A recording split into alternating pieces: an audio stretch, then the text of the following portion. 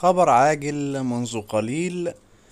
الأجهزة الأمنية في مصر تعتقل مكة حجازي التي قامت بنشر مقاطع فيديوهات خادشة للحياء عبر تطبيقات تيك توك وإنستجرام وموقع يوتيوب حيث اعترفت بأن هدفها تحقيق الشهرة ونسب مشاهدات عالية.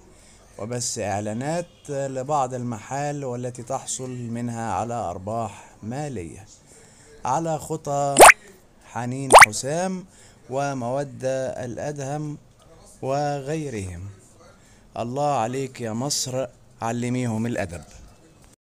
لازم البنات دي تبقى عبرة لكل البنات التانية اللي عايزة تشتغل على الإنترنت.